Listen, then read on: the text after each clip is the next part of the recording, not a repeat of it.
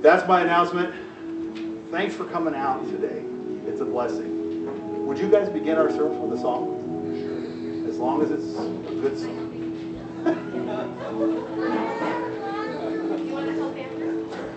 All right, everybody's got to stand. I know. Well, if you can.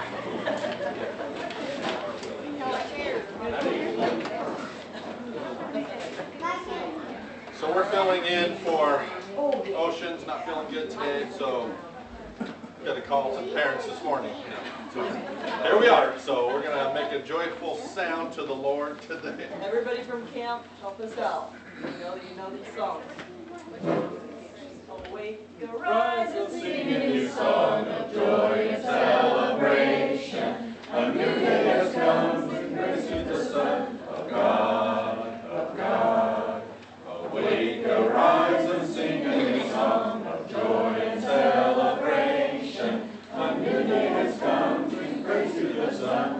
God, God. Do we want to do a round? We do rounds at camp all the time. So Marianne will lead this side. We're what? You're one. We'll be over here. Wake, arise, Wake, arise, and sing a new song of joy and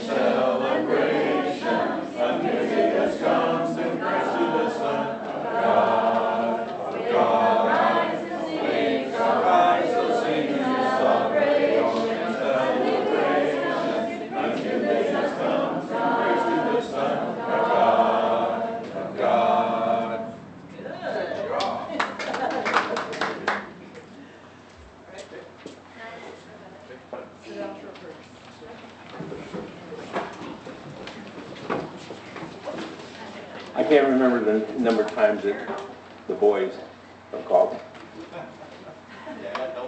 Dad, can you go teach these lessons? And it wound up being for the rest of the year, two, two years in a row. Thank, thank the Lord it hasn't asked me yet this year, so that's been great. Good morning, and I'm so glad to see you this morning. I'm glad to be out here with you. Um, I've spent a couple weeks at, well, months at Camp Gilbert. and It's been wonderful having everyone up there. It was raining a lot up at camp, and now we were just at Wilder, where we're building, and, and uh, Homedale. It was raining this morning, and I thought, oh, we'll be inside. And got here, and it quit about Chicken Dinner Road. the rain's over there. so it's been really fun. Um, at camp, we've been blessed for the last few years. When you're a program director, you have to study the program, right? Or you should. And um, I try and make it so it becomes part of a normal thought. And as I do the call to worship this morning, um, I want to share with you just three quick themes. It was beyond belief, beyond my belief.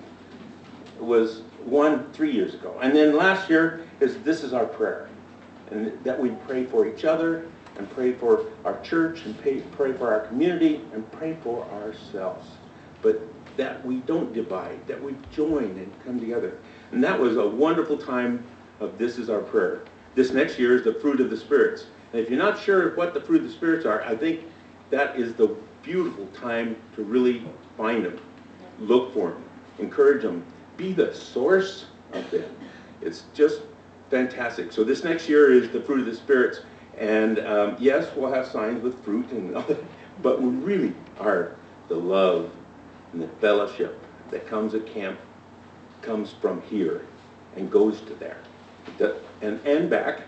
But I want you to know that it's been a fantastic um, couple of years building and being part of camp, but it's been more fantastic to be here and support camp from here. This morning's um, scripture, you know what, let's start with prayer. Let's begin with prayer. Our Heavenly Father, we want to thank you, Lord. Thank you for those truths that we receive from your word and from our leadership and from each other. Thank you, Father, for the love, the joy that comes from service, and just the feeling of family that we get from you, our Father, and from our brothers and sisters. Help us this morning to share all those wonderful truths as we worship together. Amen. Today is Luke, and it's Luke 5, 12 through um, 15, and um, it is the men with leprosy. While Jesus was in one of the towns, a man came along who was covered with leprosy. When he saw Jesus, he fell to his face and fell to the ground and begged him, Lord, if you are willing, you can make me clean. Jesus reached out his hand and touched the man. I am willing, he said. Be clean. And immediately the leprosy left him. Then Jesus offered him, in fact, ordered him, Don't tell anyone, but go and show yourself to the priest and offer a sacrifice that Moses commanded for you, your cleaning, as a testimony to them. Yet the news about him spread more, so that the crowds of people came to hear him and to be healed of their sicknesses. But Jesus often withdrew to lonely places, to the mountains, and prayed. May God be blessed by the reading of his word. Now another song.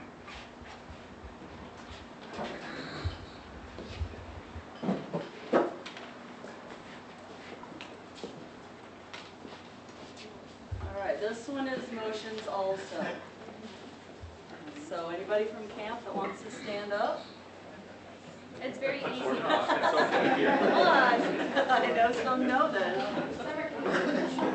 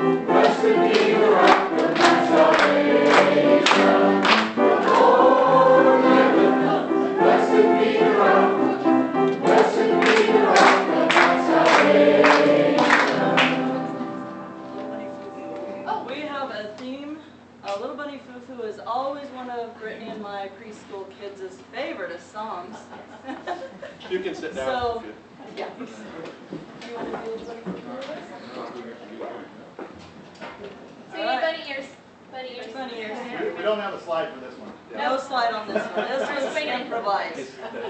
It's necessary. All right. Little bunny hopping through the forest, scooping up the field mice and popping them on the head.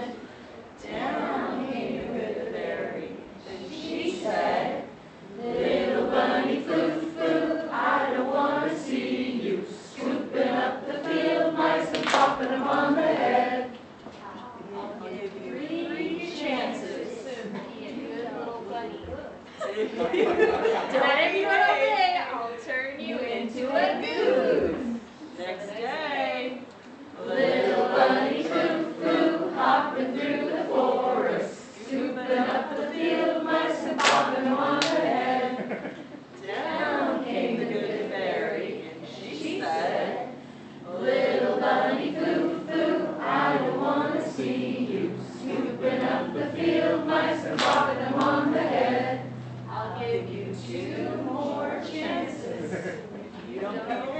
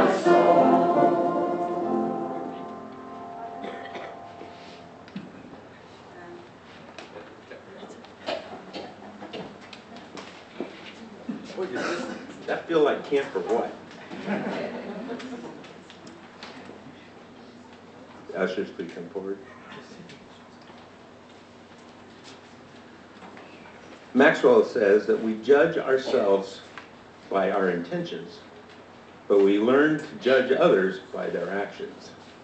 And that's something profound in that. Uh, we ran a lot of businesses that, that, um, yeah, our intentions were great. We, uh, we wanted to do the right thing, but we didn't get the oomph that needed it. I ask that you think about it today and not just have great intentions, but follow through with great actions. Thank you.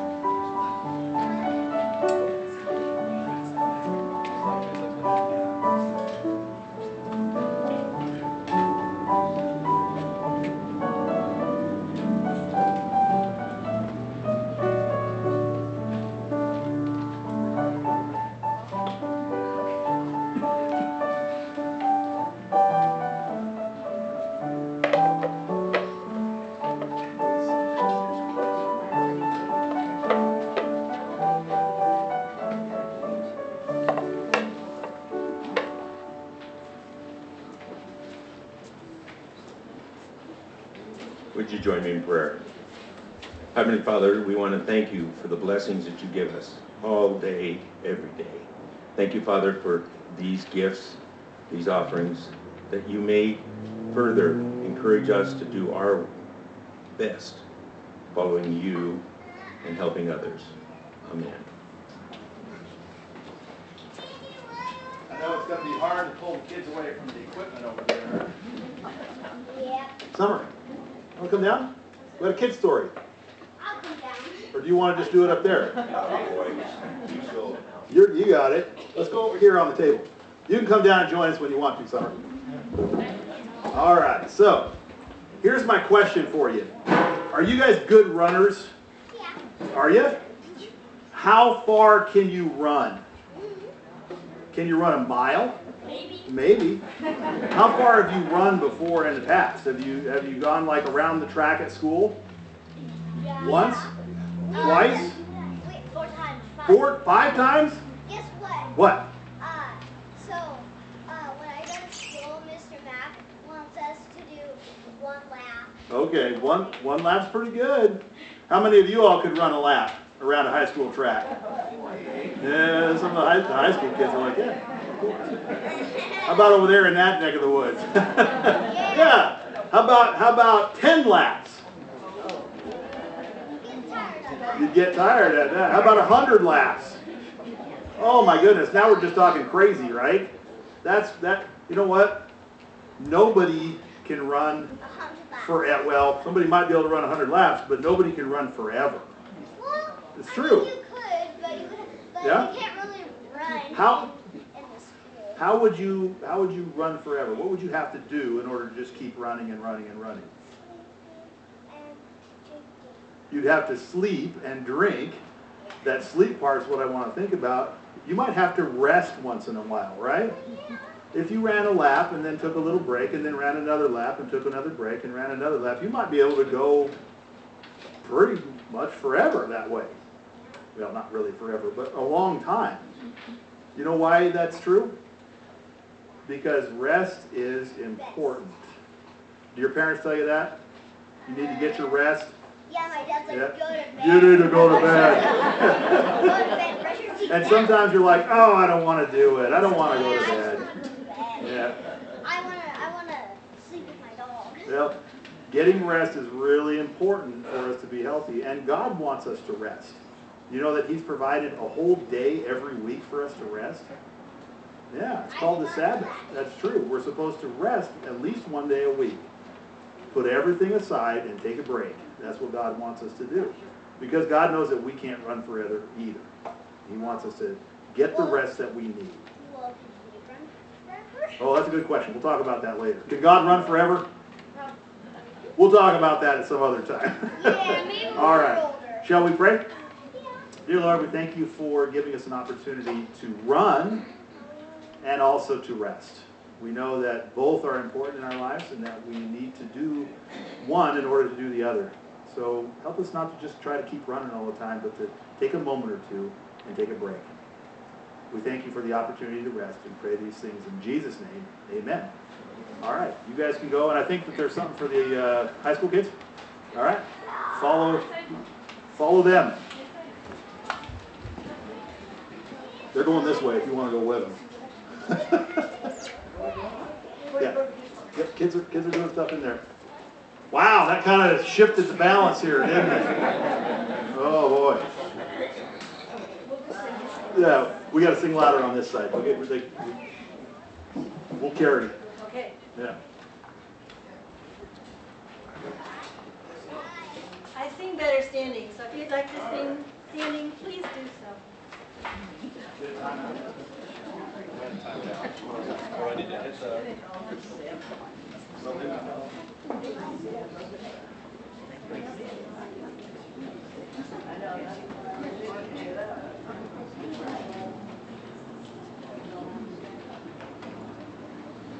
right, what song is it?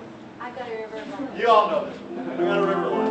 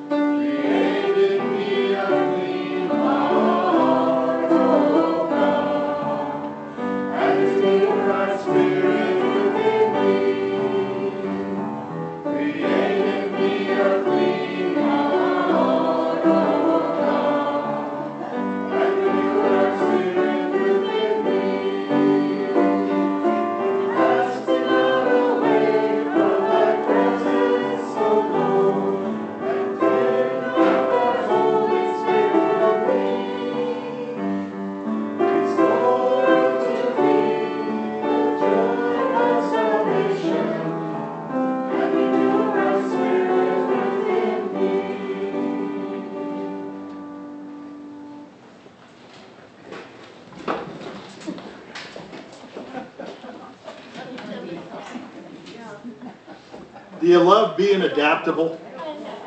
I know adaptability isn't, sometimes it's tough. Sometimes we get into patterns, we're kind of flowing along, that's the way we like to do things. And somebody throws us a curve, like our song leader being sick, for heaven's sakes, what in the world? And then uh, the power goes out and we, we lose our, and we're out here today, which is a little bit different. That was kind of planned. It wasn't completely uh, out of left field, but uh, thank you all for being willing to share in this time. Monitor and adjust. There you go, Dan. That's right. We monitor and adjust. I want to invite you, if you would, to turn in Mark's Gospel to the sixth chapter for our scripture today. Um, the scripture that Byron read earlier, it's a great story of healing, isn't it? I want you to pay a special close attention to the spaces at the beginning and the end of these stories. I think that that's where we're going to we're going to look at a little more closely. So I'm going to pick up reading in that sixth chapter at the 30th verse. The apostles gathered around Jesus and told him all that they had done and taught. And he said to them, Come away to a deserted place all by yourselves and rest a while. For many were coming and going, and they had no leisure even to eat. And they went away in a boat to a deserted place by themselves. Now many saw them going and recognized them, and they hurried there on foot from all of the towns and arrived ahead of them. And as he went ashore, he saw a great crowd, and he had compassion for them, because they were like sheep without a shepherd. And he began to teach them many things. When it grew late, his disciples came to him and said, This is a deserted place, and the hour is now very late. Send them away so that they may go into the surrounding country and villages and buy something for themselves to eat. But he answered them, You give them something to eat. And they said to him, Are we to go?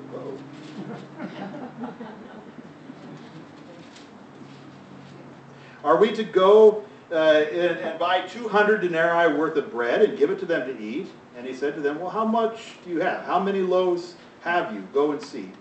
And they found out, and they said, Five and two fish. And he ordered them to get all the people to sit down in groups on the green grass. And so they sat down in groups of hundreds and fifties.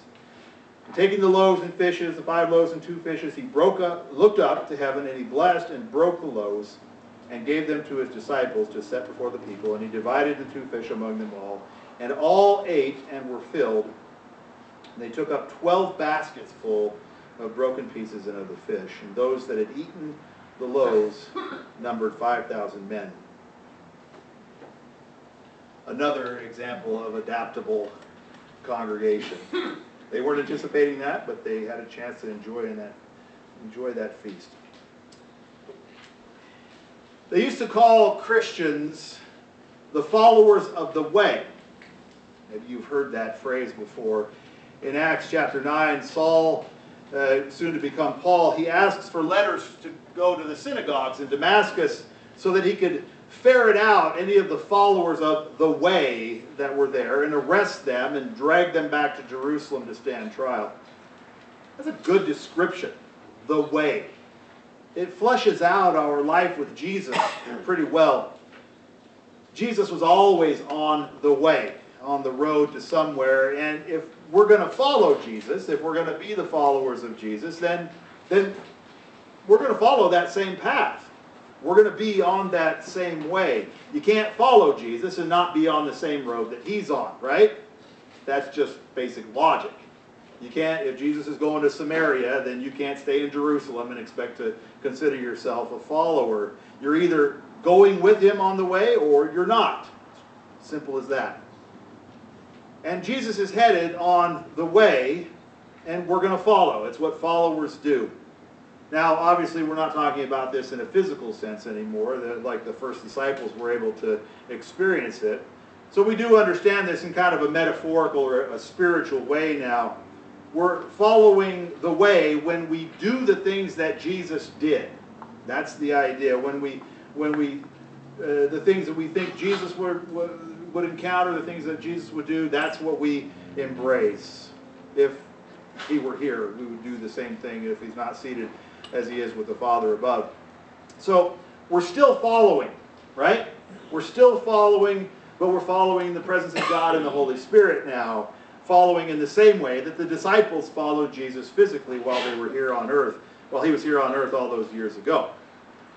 So I want to throw out a few things, some destinations along the way, places that we might find ourselves if we're still following this way.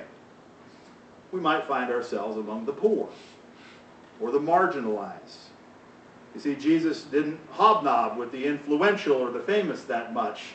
He did spend time with everyone, but it wasn't like he was exclusive in that way. When the standard wisdom of the world said, you know, these are the people you need to hang out with, you're going to have a lot more influence if you spend time with the ruling class. Jesus was more inclined to and interested in the least of these, the last. That's where Jesus was. He connected with beggars and with the lame and the sick, with the foreigners, the outcasts, the sinners and tax collectors. These are people that Jesus spent time with.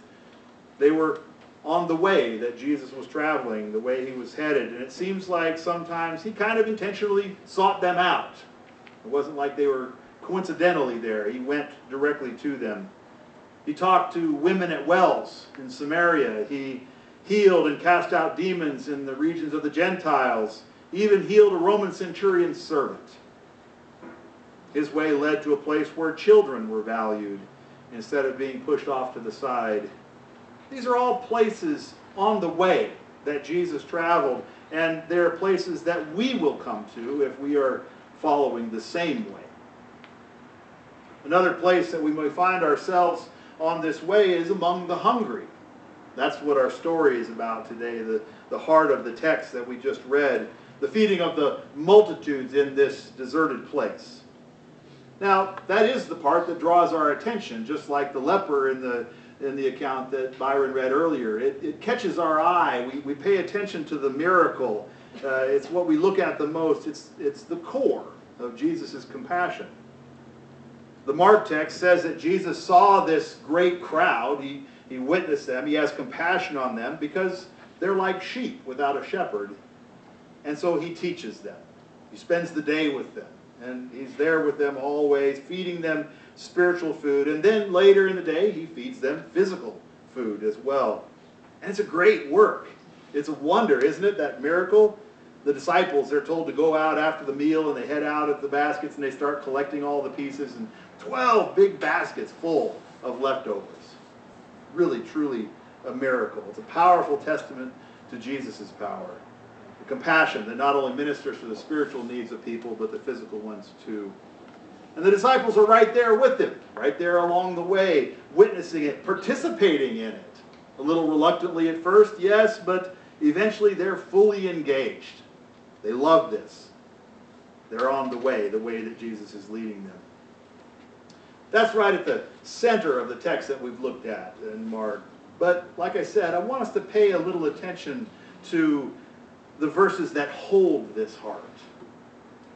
Let's begin in that 30th verse. If you have your Bibles, I invite you to, to open them and look at this. Verse 30, uh, right at the beginning, we might learn a little more about this way, something that goes beyond the loaves and fishes and miraculous feasts. So at the beginning of the text, in that 30th verse, we see that the disciples have, have come back to Jesus and they're telling Jesus about what happened to them on this mission that they were on. Uh, we don't know about it unless we look further back in that same sixth chapter and you see that Jesus, he'd been out in the villages and the towns and he's teaching and he says to the disciples, I want you to go out. I want you to go out, pair up, just like in grade school, pair up, go out, cast out demons, heal the sick, proclaim the gospel, and then come back and tell me what you experienced. This is them telling Jesus what they'd experienced. Now, think about this. They'd been out there in the region, they'd been talking to people, they'd been encountering folks that were sick, the demon possessed, and they'd been doing these miraculous things. Do you think they were excited about it? Oh, yeah. I'll bet you they were really excited about it. They were, they were pumped up. They'd been given this power over these spiritual forces, forces that had, that had subjugated them and ruled them for so long. Now they're, they have power over sickness. They've witnessed some miraculous stuff. They participated in some miraculous stuff. And, and if human nature is any indication, I'll bet they were pretty stoked about it. Let me tell you what we did, Jesus. They're going to spill the tales all night long. But that's not really what Jesus was focused on. What Jesus does, instead of patting them on the back and encouraging them and, and, and pumping them up, what he does is call them away from that work. He says, you know what? Let's, let's get out of here for a while.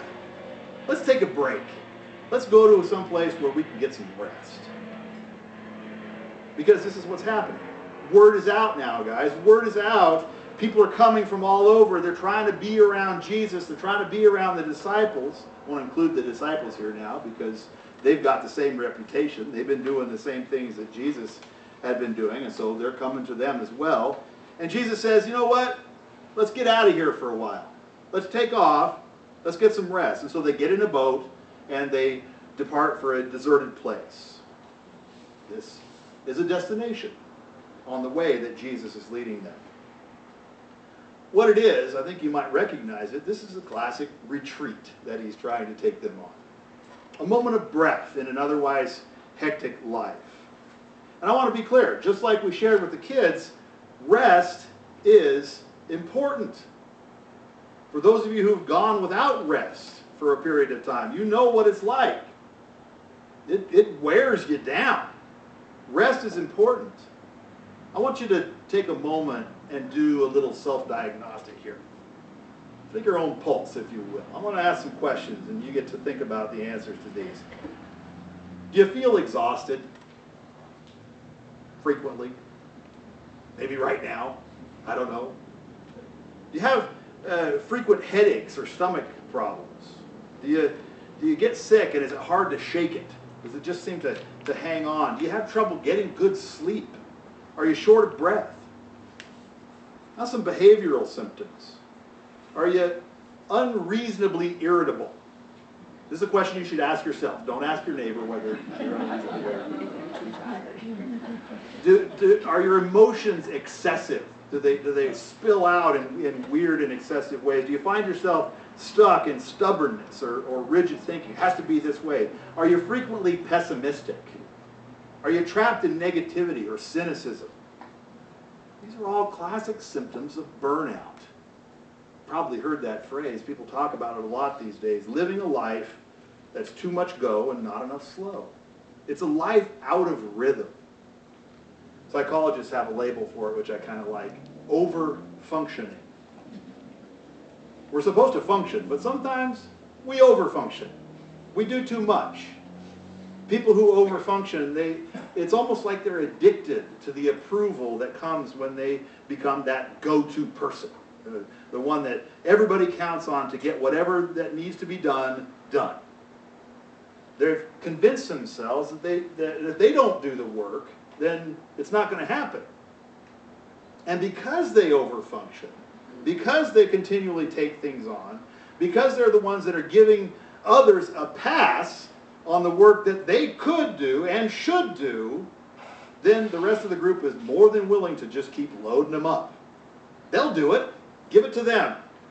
They like to do it, doing more and more with less and less. And they burn out. And they need a rest.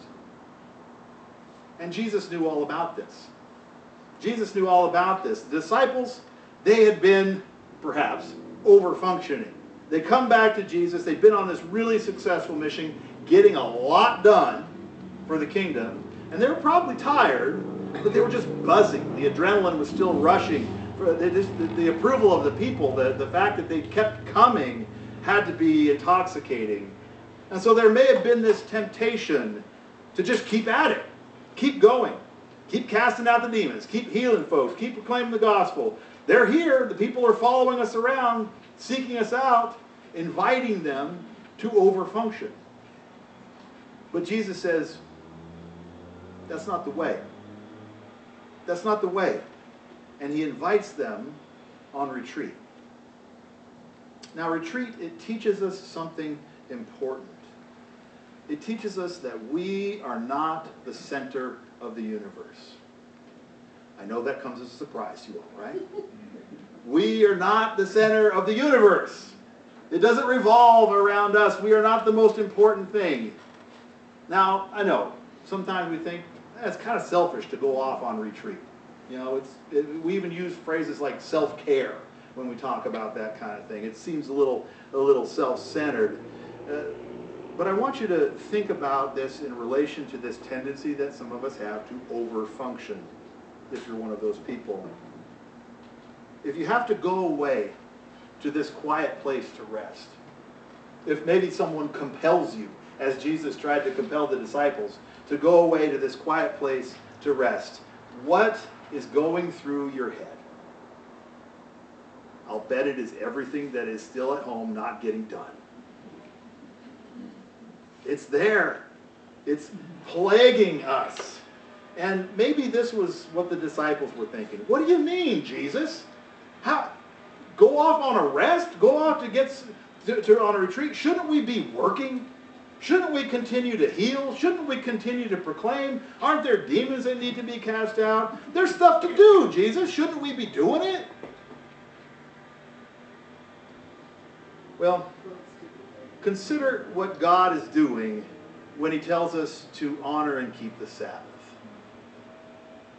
That Sabbath, that is sort of a weekly retreat, if you will, a chance to rest, a chance to recuperate and recharge. It's an opportunity that we have to stop over functioning, a chance to remind ourselves that this work of the kingdom that is so important and that we're so excited about doing does not rest solely on our shoulders. That it is God that is the one that is doing the redeeming. And that we can trust God. We can trust that God is working for this redemption of the world even when we lay it down and take a break and recuperate. Is there work to do? You bet. Always. Absolutely. Does God want us to participate in that work? Yes. But does all of that depend upon us? Will the whole thing go to rack and ruin if we're not right in the middle of it? No. God is bigger than that. There's a little blending here. We're, we're, we're kind of tearing down some boundaries and letting things flow together, a blending of the kingdom work uh, and the work of our ordinary lives, that day-to-day stuff that we do, that we all need to do. God certainly wants us to participate in this redemptive kingdom work, proclaiming, making disciples, that, that sort of thing. There's genuinely, and I will stand by this, there is genuinely no higher purpose for humanity than to do that, to, to work for God's kingdom. That is our crowning work, the kingdom work. But we also put bread on the table. We also have things that we need to do, uh, and that can give glory to God as well, but it seems a little more mundane, not mundane in a, in a boring or inconsequential way, but mundane of this earth, the mundus, this world that, that we live in. And both of those things have to be kept in their proper place. We need to have some balance. Both of them fall under the Sabbath mandate. So this is what I'm saying. You can't overfunction when it comes to the mundane stuff, the day-to-day bread on the table stuff. There's always a lot to do, yes, and we can get tempted and we can get caught in being what they call a work martyr, sacrificing yourself for the sake of the job. We convince ourselves that, that God's going to understand, you know, our ox is in the well and we got to get it out. That's what the Bible says, you know, so we're going to do that and we're going to head on out and do more and more and more. And the reality is that there's a little bit of selfishness to that. When we overfunction like that, it's almost like we're saying that we don't trust that God will take care of things. I know you said you would, God. I know you said it was okay for us to take a day off a week, but mm, I'm not sure I really believe that. We edge a little bit closer to that original sin, trying to be like God. Because I'll tell you this, there's only one that can get it all done. And as much as you think your mom is the one that can get it all done, even moms have trouble. It's God. God is the only one that can get it all done. We also can't overfunction when it comes to the kingdom work that God puts in our hands as well. Just because it is our highest purpose, uh, to serve God. That is our greatest work. It doesn't mean that we have to do all of it. Overfunctioning, it's not sanctified and made holy just because the work itself is holy. You can do the right thing in the wrong way here. So, you can't keep running. You got to take a rest. If for no other reason than to remind yourself that it is God alone who is capable of saving the world. When Jesus says it, we need to listen, come away, and rest. The way of Jesus is not always towards more work. Now, this passage that we read out of Mark, there's a lot in there that just tells the story. It's what they call descriptive. Uh, it's not that this is what you need to do necessarily. I don't think that the disciples, or Jesus for that matter, really got the rest that they needed in this passage. I think that was taken away from them. They get in the boat, they go out to this deserted place, and when they get there, who's there to meet them? The crowd. I mean, they raced there from the villages on the shore to get there so that they could they could encounter Jesus and, and the disciples. So there's no rest. There's there's no retreat. The people are all gathered in expectation. And so Jesus adapts. Adapted. Jesus adapts to the situation and he shifts gears and his compassion comes to the forefront. That compassion, it preempts their plan for a retreat. But I don't think that's what Jesus wanted. I don't think that's what he really wanted, but it is what he had to deal with. It was what he was confronted with, the need of the people. And so there's this tension, this ever-present need that is there, and then our need to recuperate and rest. And how we work through that tension is the tough thing. It's a difficult tension to resolve. I think a lot of us would love it if the Sabbath mandate were absolute, as if we were made to do it. You have to do it. You cannot not do it. It's easier that way. It kind of lets us off of that personal responsibility of choosing to observe the Sabbath. Jesus should have said to the crowd, you know what? We need to take a break. Sorry, everybody. We're not here to teach right now. We're not here to do that. Y'all need to go home. Come back in a few days and we'll pick it up then. You need to respect our space. We need to have a, we need to have a rest. Jesus could have said that. Jesus wants that. He wants the, the disciples to have some rest, but there's no rest at that point. So what's the lesson for us? It's not that rest isn't important or less important. We see Jesus all the time trying to do this, trying to get away for some rest. The, the passage that Byron read, you heard it there, right? Jesus wants to go away to a solitary place. Just a few verses on in this sixth chapter of Mark, there's another section. Jesus departs to a solitary place to pray. He wants to get away, he wants to have this rest, needs this rest. So Jesus doesn't stop looking for it. It remains important. But that compassion is important too. I think we can take a step towards resolving this tension when we remember that there's always going to be a place for compassion. You're not ever going to escape that. It's always going to be there. The need of the world is great. It's endless, it seems at times. And if we're the kind of person that's more prone to the rest, to stepping away from work, more rest than we really need, if when it comes to kingdom work we're under functioning instead of over functioning, then that ever present need that is there should function like a needle that pokes us, a sting that stings us, something that convicts us. It should be sharp and irritating to the point that we can't ignore it. We shouldn't be able to get rest when that need is right there in front of us. Jesus has led us to it. Led us on this way, and we're going to encounter need along the way. And so, for those that retreat too much, that spend a little too much time in rest, let that need goad you into action. But for all of us, we can't forget that whatever it is that God is calling us to do, that the ultimate reconciliation of all things, that is something that God accomplishes. We participate, we share, but it is done by God through the blood of Christ. It's God's work. We're ministers of it, as Paul says in Colossians, but that actual restoration is a gift from God. So we need to advance when it's necessary. to step with compassion into the need of the world. When there are sheep without a shepherd, we need to introduce them to the good shepherd. And that's work, holy work. And we need to do it.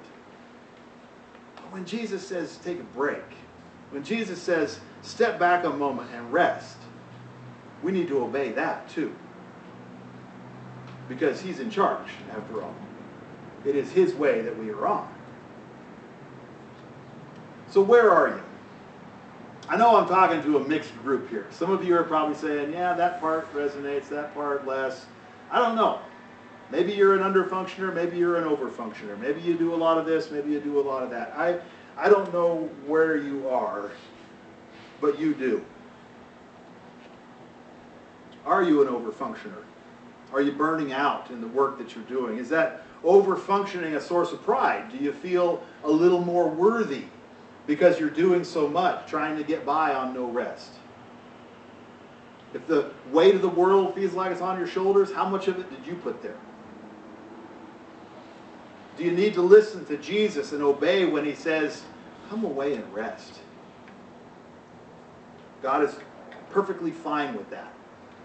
Perfectly fine with a retreat now and again. He's actually commanded us to take one once a week. It's there in the Bible. So, if that's where you're at, but maybe you're on the other side of the equation. Maybe when it comes to following the way, there's a little too much retreat and not enough advance. It's possible that you've gotten into a pattern of over-functioning in all of that mundane human stuff. Busy at work, busy at home, busy, busy, busy. Not enough time for God. So many things, so many, so much busyness like Martha in the kitchen. You've lost sight of what God wants you to do. You don't have time for the compassion. You don't have time for the, the love. Other things take precedence. It's just, I, I got to get it done. See, Jesus called his disciples away from holy work in order to take rest and retreat. Jesus may be calling us too, but calling us away from that profane distractions. And not to rest, but to advance. Advance for the sake of the gospel. As much as we might want to avoid it, I don't think these questions are hard to answer. I think you know. I think you know where you stand. I think you know what you're doing. You know more about the state of your being than, than maybe you'd want to admit. I know I do. I struggle with this. Little confession being good for the soul here. This is not somebody who's figured it all out and telling you what you need to do because they know what to do. This is just a brother read this in the Word and said, hey, I, I, I struggle with this. I have a hard time with it. I'm just as convicted about this as anybody. So we know where we stand. The question may not be hard to answer, but that answer may be hard to face. Retreat and advance. Taking a rest, going forth in compassion.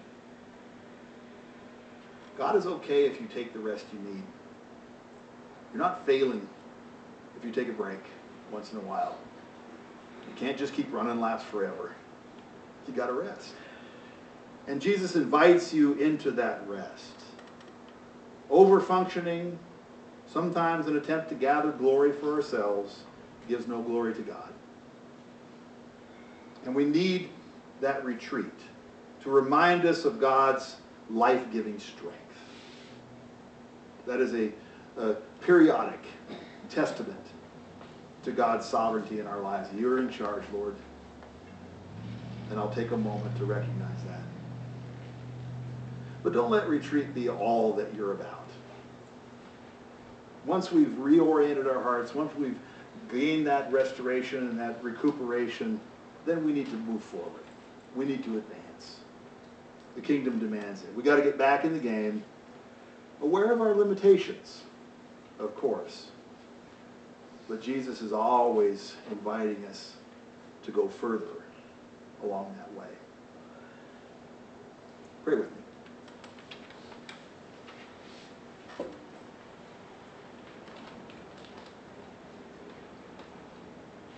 Lord, you extend an invitation to each of us.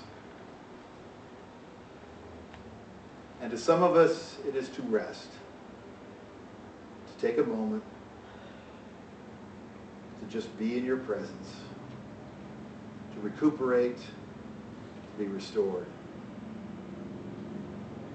Others you invite to advance, to move forward into the need of the world with the compassion that you give us, that you inspire in us.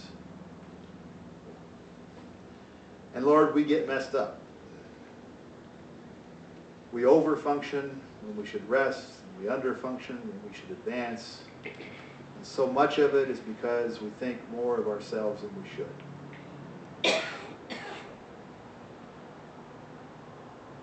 We think that everything depends upon us. And so, Lord, when we've allowed that pride to influence the way that we spend our time, if we've convinced ourselves that the, the world won't go on unless we keep working, we ask your forgiveness. Lord, if we've stepped out and checked out and laid down the work that you've had in, that you've placed in our hands and, and that you call us to, we ask your forgiveness. Lord, we seek balance. And we know that that is a balance that only you can give. And so help us as we follow on this way. We pray these things in Jesus' name. Amen.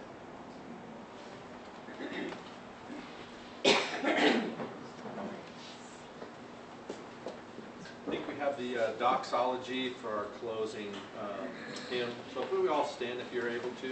Think about the praise, I mean, just that first part of that,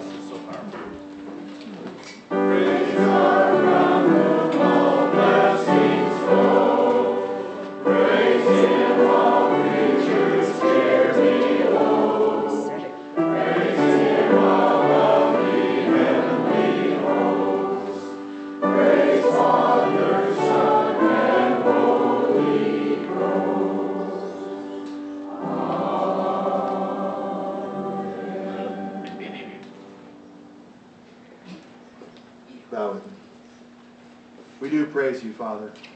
We thank you for your innumerable blessings. Pray that you would draw us close, guide us, keep us on the path that we need to be on as we follow faithfully. We pray for those who can't be with us today for whatever reason. We ask that you bless them in a special way. Bring them back together with us so that we can worship together soon. And Lord, we just pray that you would keep us faithful and in that balance to rest and to go according to your good purpose. Pray all these things in the name of Christ. Amen. Invite some of you, if you're able, to help us kind of pick up. Other than that, you're dismissed. You may go in peace.